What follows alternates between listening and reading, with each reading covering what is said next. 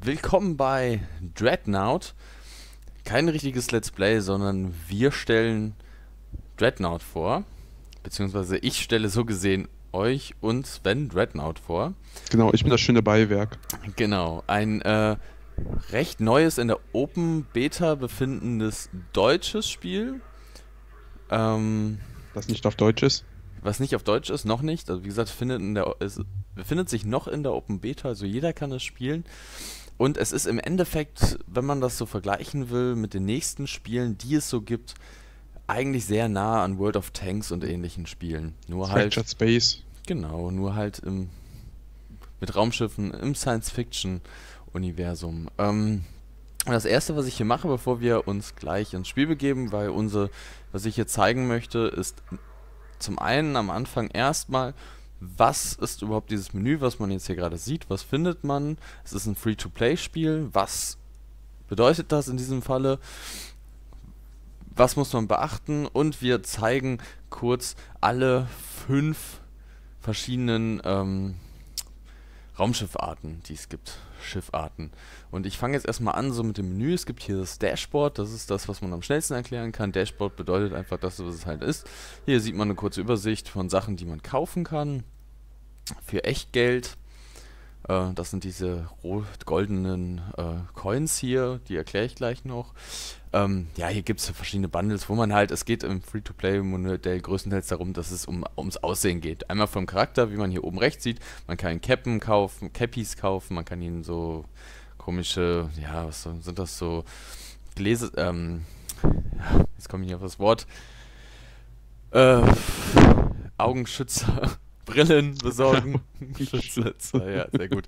ähm, man kann hier, wie gesagt, Farben, Farben, man kann hier nochmal so Vorderfiguren, die zeige ich gleich nochmal, was man machen kann. Man kann ja ganz viel kaufen, muss man aber nicht. Also das ist nach meiner Meinung kein Pay-to-Win-Spiel.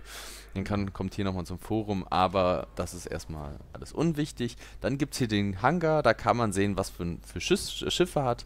Ich habe hier zum Beispiel jetzt gerade mein Heiler-Schiff, das Support-Ship. Ähm, dann gibt es noch hier ähm, den Italy Cruiser. Das ist eine Klasse, ich erkläre jetzt einfach Klasse für Klasse. Das ist der Italy Cruiser. Das ist so gesehen eine Einheit wie so ein Scharfschütze.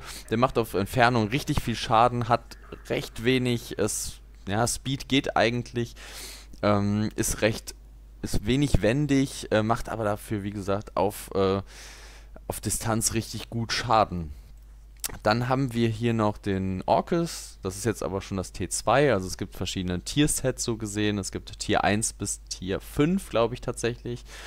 Ähm, und hier habe hab ich jetzt hier gerade schon das T2 Heilerschiff, weil ich größtenteils Heiler gespielt habe. Ähm, der Support Cruiser, der Support äh, oder Support Ship ist halt fürs Heilen da oder kann auch alternativ ähm, die Leute unterstützen mit verschiedenen Fähigkeiten.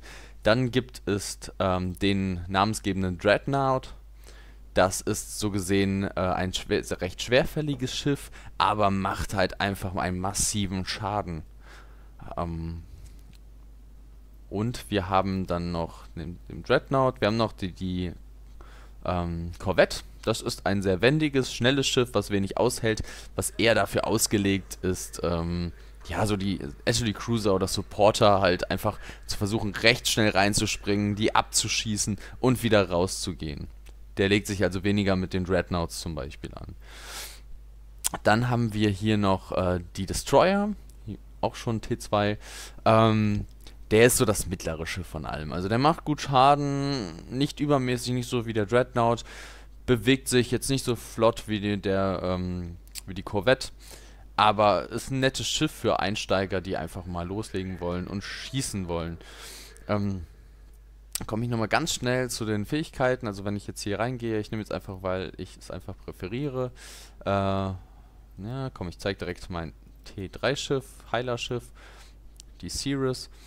Ähm, das ist jetzt so ein T3-Schiff und wie man hier unten sieht, gibt es verschiedene Loadouts. Also ich kann hier unten entscheiden, ich habe hier einmal den Medium Beam Turrets dran, ähm, das bedeutet, mit denen heile ich. Die Tesla-Turrets, mit denen mache ich Schaden, aber auf recht äh, ja, geringer Reichweite. die, das ist theoretisch die Sekundärwaffe, die kann ich dann im Spiel mit Q aktivieren. Dann habe ich mir meine Fähigkeiten, die habe ich auf den äh, Nummerntasten 1 bis 4. Da habe ich den Amplifier, äh, Beam Amplifier, der macht halt nochmal verstärkt äh, mehr ähm, Heilung. Der Repair Pod platziert halt einen, ähm, einen Pod, der halt alle in der Nähe heilt. Der Repair Auto Beam ähm, heilt halt alle automatisch vom Schiff aus mit den Beams automatisch, sodass ich mich nicht immer auf einen konzentrieren muss, sondern ich kann mich auf einen konzentrieren und gleichzeitig heilt mein Schiff noch andere und Auto Repair heilt mich selber. Das sind so gesehen die Fähigkeiten. Das hat jedes Schiff.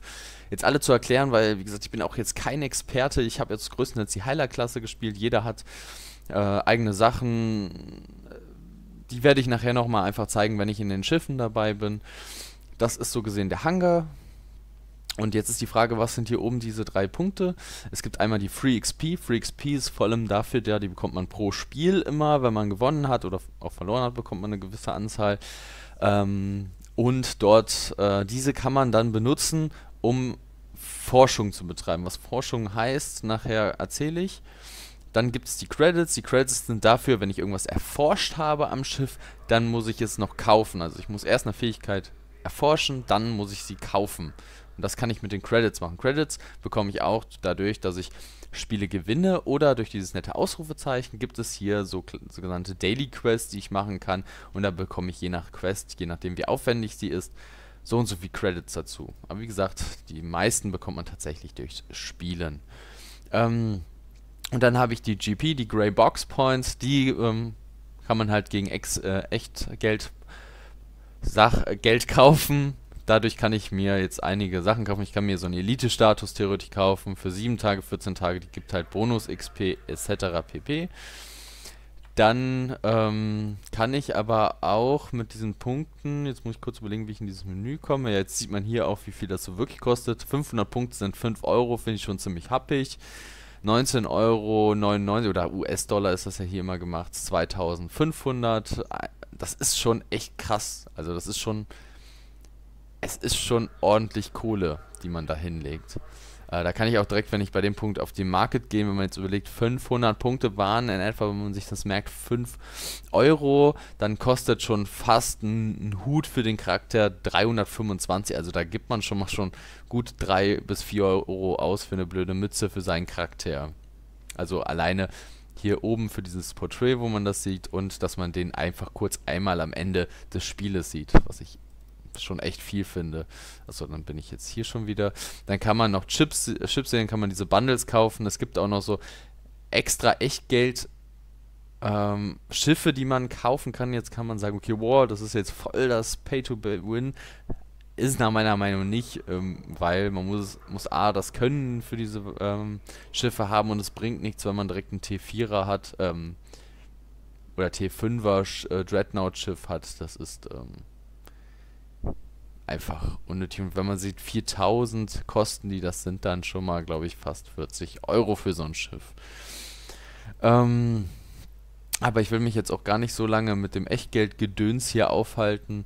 Es gibt hier noch die Manufaktur, jetzt wird es ein bisschen interessanter. Es gibt äh, drei verschiedene Arten, Oberarten von Schiffstypen oder von Fraktionen. Es gibt die Jupiter Arms, es gibt die Acula Vector und es gibt den Oberon. Und wenn man jetzt so sieht, zum Beispiel bei Jupiter Extension fängt es an mit der Augusta, das ist der Destroyer. Und der teilt sich dann halt einfach auf. Dann konzentrieren sich natürlich nicht auf Destroyer. Der nächste wäre der Destroyer Stufe 2 und der Cruiser, den man dann kaufen kann.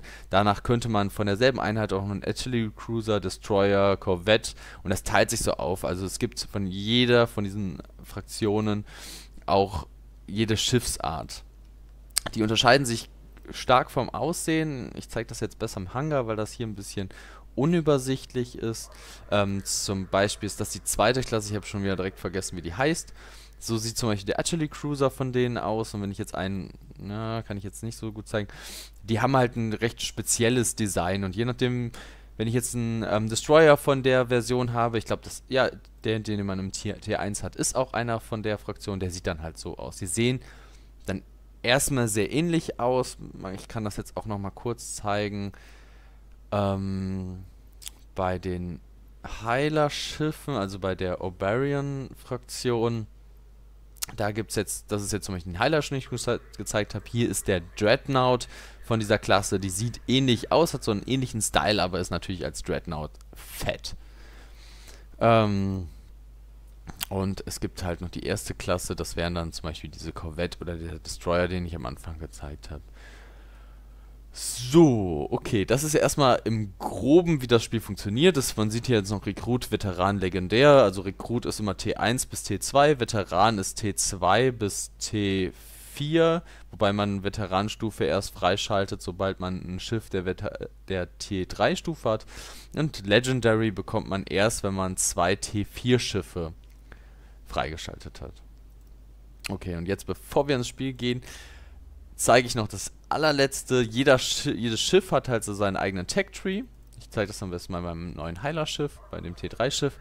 Und hier sieht man noch eine Währung. Das sind diese silbernen Sterne. Und die silbernen Sterne heißt, das sind theoretisch die Erfahrungspunkte von dem Schiff. Und ich bekomme immer pro beendetes Spiel Erfahrungspunkte für dieses Schiff. Und ähm, muss dann erstmal Sachen freischalten. Also zum Beispiel dieser Beam Amplifier kostet mich jetzt 800 8400 Sterne, also diese Schifferfahrungspunkte. Und äh, die müsste ich jetzt sammeln. Ich habe jetzt 3368 gerade. Und wenn ich die habe, kann ich die freischalten. Und dann habe ich das erforscht, diese Fähigkeiten. Dann kann ich sie gegen die Credits, die ich auch im Spiel erwerbe, freikaufen. Und dann kann ich die Fähigkeit auch wirklich benutzen. Und jetzt kann man sich fragen, ähm, für was sind jetzt die, diese goldenen Erfahrungspunkte? Wie gesagt, die kann ich zur Forschung benutzen. Wenn ich jetzt, habe ich jetzt das irgendwo ein schönes Beispiel? Ja, genau, hier. Bei der Fähigkeit Auto Repair Stufe 3 habe ich nicht genug Schiffserfahrungspunkte, aber ich kann die restlichen Schiffserfahrungspunkte kann ich ausgleichen mit den Spielererfahrungspunkten, also diese goldenen Sterne. Und dann kann ich das kann ich theoretisch eine Abkürzung machen und sagen, gut, jetzt ich mache das einfach mal vor, ich gebe jetzt einfach mal Punkte aus, um das, weil ich eh Auto-Repair irgendwann erforschen muss. So. Gut. Research successful. Jetzt sieht man, okay, jetzt habe ich Auto-Repair Stufe 3 freigeschaltet und jetzt bräuchte ich 4800 Punkte um, oder Credits, um mir das jetzt zu kaufen. Und dann habe ich Auto-Repair Stufe 2 freigeschaltet und könnte das mit meinem Schiff ausrüsten. Okay. Letztes, habe ich vorhin schon gesagt, ähm, was man noch machen kann. Ich kann das Loadout ändern. Wie gesagt, das ist das hier und die Apparency. Das ist das Aussehen. Sprich, ich kann hier verschiedene Skins machen. Ich habe jetzt hier bei meinem nur Medusa freigeschaltet. Das ist dieser grüne Skin, der hat mir recht gut gefallen. Andere kosten dann natürlich wieder echt Geld. Die unterscheiden sich jetzt aber tatsächlich gar nicht mehr so krass. Ich finde dieses Rot eigentlich ganz cool, aber das sind mir 300 Punkte beziehungsweise etwa 3 Euro nicht wert. Dann kann ich hier Pattern, also so eine Schiffslegierung machen, die sich aber auch krass, finde ich, sie recht wenig unterscheidet. Und dann kann ich noch das Emblem, und das finde ich ganz cool, das kommt vorne aufs Schiff drauf und das ist wie so eine Galionsfigur, die vorne dran kommt. Das hat schon irgendwas, aber im Endeffekt sieht man das im Spiel nur selber, andere sehen das echt selten und diese Schiffsfigur würde ich mal behaupten, sieht man eh noch weniger. Und dann gibt es halt hier noch Logos, die ich mir auch äh, kaufen könnte. Aber wie gesagt, ich bin da nicht so der, der dafür Geld reinsteckt. Mir hat das Spiel recht viel Spaß gemacht. Vielleicht, wenn ich es echt viel spielen würde, würde ich mir, würde ich mir Gedanken machen, da Geld zu investieren. Und ich melde jetzt einfach mal für ein Spiel an. Sind wir jetzt eigentlich in einer Gruppe? Ich glaube nicht. Nee. Jetzt muss ich gucken, wie kriege ich dich in eine Gruppe, weil ich habe tatsächlich noch nie Invite to Squad. So, ich habe dich jetzt eingeladen. Hm. Ja, das ist sehr schön.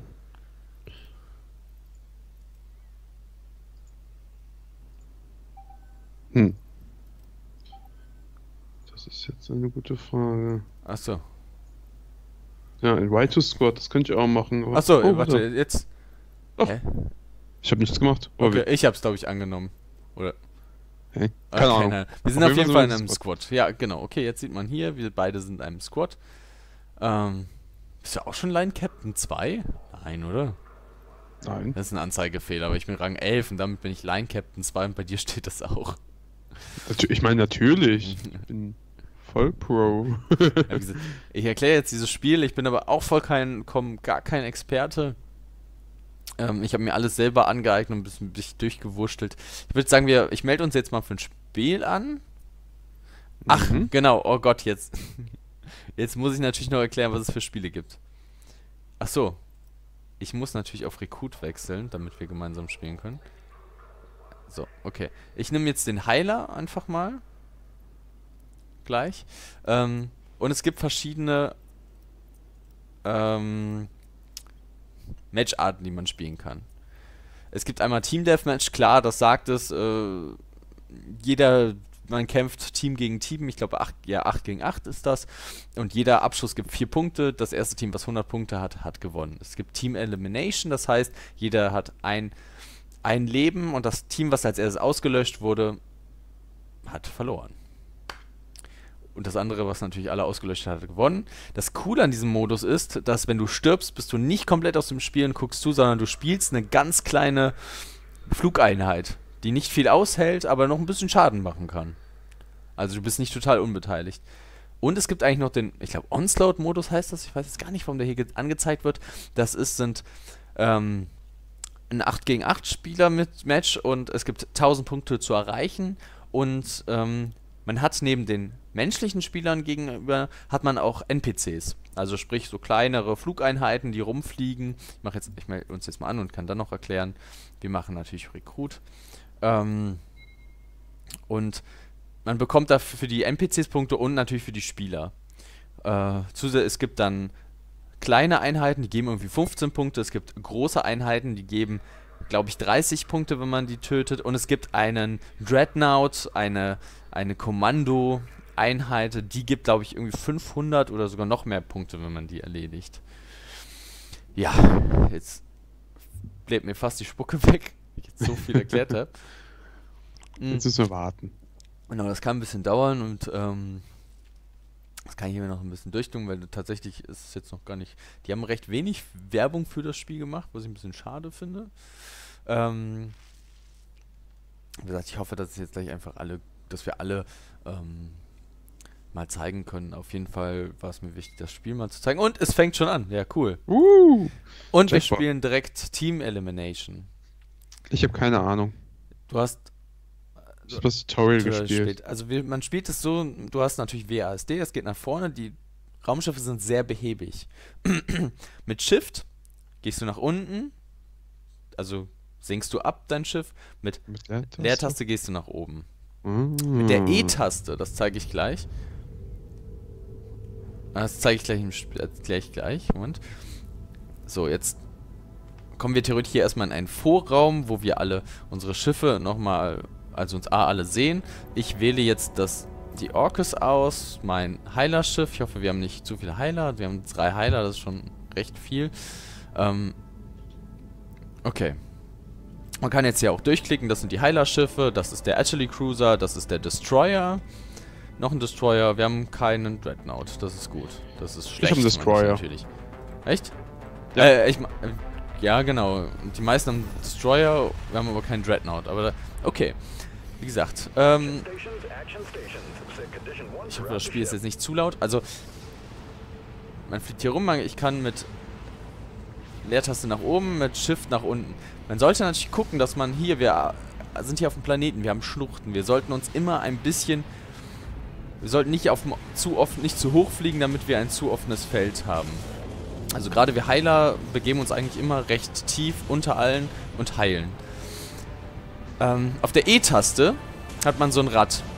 Increase Trust, Amplifier Weapons und Raise Shields. Amplifier, ähm, ich fange einfach mit Increase Trust ist, wenn ich das benutze, kann ich schneller fliegen für eine kurze Zeit. Man sieht rechts diese blaue Anzeige, das ist die Energiezanzeige, die lang, nimmt dann langsam ab. Dann habe ich zusätzlich Increased Fire, das heißt, in der, wo ich, wenn ich das auswähle, das verbraucht natürlich auch Energie, mache ich mehr Schaden oder ich heile zum Beispiel als Heiler viel mehr. Ähm, shit. Shield. Shield bedeutet, ähm, ich baue ein Schild für eine kurze Zeit an, die natürlich auch Energie ab, äh, abzieht, aber in der Zeit kriege ich halt keinen direkten Schaden. Okay. So. Jetzt habe ich mich natürlich super viel aufs Reden konzentriert. Muss natürlich ein bisschen heilen. Ja, Bad Healing. Kannst mich mal. Ich erkläre ja auch gleichzeitig. Ähm...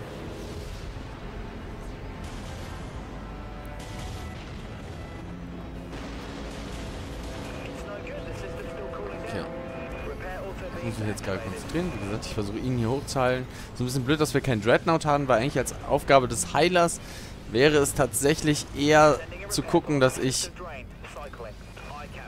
gerade mich auf den Dreadnought konzentriere, weil der macht viel Schaden, der fungiert als Tank. Also versuche ich den hochzuheilen. Das ist meine Aufgabe. Und gerade konzentriere ich mich drauf, irgendwie so, Apply by Falcon Weapons. Ja, toll, ist der auch weg. Das wird eine recht schnelle Runde für uns. Ich muss auch ein bisschen gucken, dass ich mich jetzt hier wegdrehe, weil ich stehe im Sichtfeld der anderen.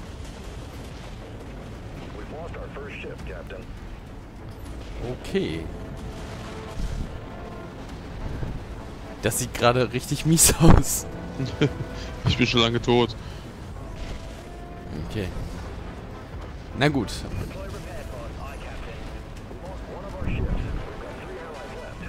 Ich beschieße die hier mit einem kleinen Gleiter. Genau, also das ist bei Team Elimination so, dass man die heilt, äh, die dann als kleiner Typ rumgeht und werden immer weniger. Ich bin der einzige Heiler und auch zwei Schiffe. Das wird eine recht schnelle Runde werden. Also man spielt jetzt hier zwei Runden. In allen Runden geht's. So, ich mache jetzt mal mein Schild an. Ja, da kommt der Dreadnought. So gut. Ich jetzt ziemlich umnieten. Und da ist noch einer. So. Ich versuche mich immer so zu positionieren, dass die mich eigentlich nicht bekommen, aber bei zwei Dreadnoughts rechts und links, aber gut, der ist weg. Jetzt muss ich hier natürlich einen riesen Bogen fahren. Scheiße. Okay. Und ich bin auch raus. Das kannst du immer noch zeigen, wenn man als kleiner Gleiter rumfliegt. Wenn ich das noch schaffe, sonst kann ich mal hier so, das sind diese Gleiter. Vorbei. Okay. Wir haben jetzt 1 zu 0 für die. Ich war der Erste, der gestorben ist. Okay. Ja, man sieht ja, es gibt verschiedene gleich. Ich weiß jetzt gar nicht, wie es dazu kommt. Das weiß ich auch nicht. Dass der eine so einen komischen hier fährt, der Alien 15. Ob, man, ob das was mit der Klasse zu tun hat, das weiß ich nicht. Also ich konnte mir zwischen... Ich konnte mir vier aus, zwischen vier einen aussuchen. Ach so. Wenn man C drückt, wenn man tot ist. Ach, okay, das habe ich tatsächlich noch nie gemacht. Okay. Auto-Respawn in einer Sekunde. Okay. Jetzt haben wir auch einen Dreadnought. Sehr gut. Ich werde mich jetzt auf den Dreadnought konzentrieren. Wir haben auch drei Heiler, das ist... Ah, Too much. Ja, das geht. Du kannst es sehr gut mit drei Heilern machen. Da musst du aber Leute haben, die halt auch ordentlich wissen, was sie tun und Schaden machen. Zum Beispiel zwei Dreadnoughts wäre dann okay. Und das Wichtige ist immer, dass alle ein bisschen zusammenbleiben. Das ist... Es ist halt kein Rush-Spiel, also es ist sehr taktisch. Also ich bleibe hier die ganze Zeit bei dem Dreadnought Alien 15. Will mich auf den konzentrieren. Den versuchen am Leben zu halten. Weil er im Endeffekt der ist, der recht viel Schaden macht und am meisten aushält. Mein T2-Schiff ist eigentlich auch recht gut equipped, dass ich eigentlich hier...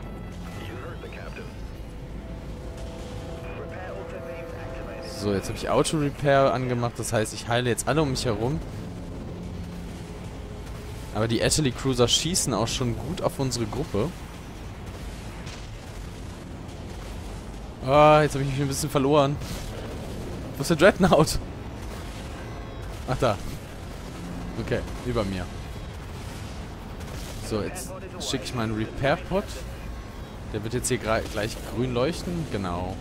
Der heilt dann alle drumherum. Und das sieht jetzt eigentlich gar nicht so verkehrt aus, außer dass der Atelier Cruiser da hinten ziemlich aufs Maul kriegt. Heile ich den mal hoch.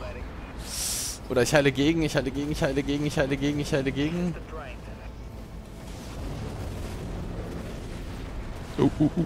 Ja, ich versuche noch dich zu retten, aber nee, scheiße. Was machen denn die anderen Heiler hier?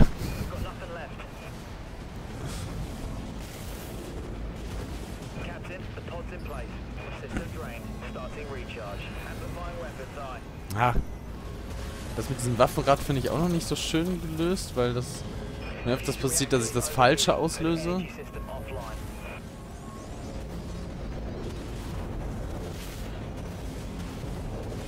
Okay.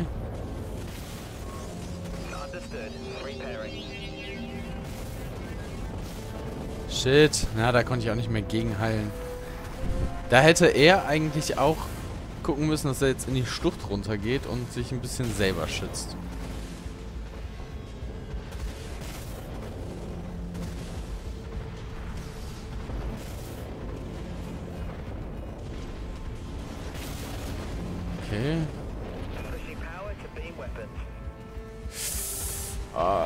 Nicht der Heiler, nicht der Heiler, nicht der Heiler, nicht der Heiler.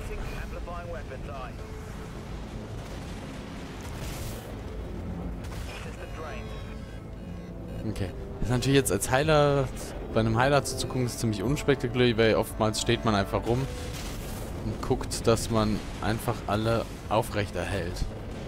Aber Heiler ist auch eine gute Anfängerklasse, weil man am Anfang erstmal sich nicht ganz so aufs Schlachtfeld konzentriert, sondern erstmal gucken, wo sind alle. Und komm. Lebe, lebe. Ach komm. Wir haben noch nichts von denen erledigt. Welche nachher bin ich schuld. Die Heiler ist immer schuld.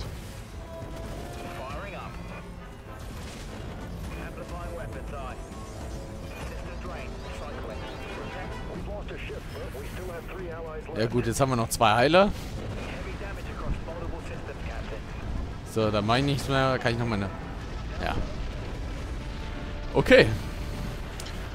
Es war ein Gut. guter Anfang, das zu zeigen, aber gut, das ist, wenn man mit Random Street Too Many Healers, ja, sehe ich genauso. Gut.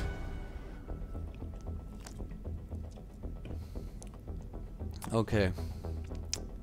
Tja. Ein paar Punkte bekommt man. Wie gesagt, hier bekommt man die Credits. Hier die Schiff-Erfahrungspunkte, die ich eigentlich jetzt nicht mehr für dieses Schiff brauche. Und so Erfahrungspunkte. Dann kann, kann man zurück in den Outpost. Okay. Und das war's für die erste Folge. In der nächsten zeigen wir kurz alle, zeige ich kurz alle restlichen Klassen, die es noch gibt. Und ähm, macht euch selber einen Eindruck drauf. Es ist ein schönes Spiel, wenn man ein bisschen den Einstieg gefunden hat, macht es echt Spaß und auch recht schnell süchtig. Okay, dann bis zur nächsten Folge. Ciao. Tschüss.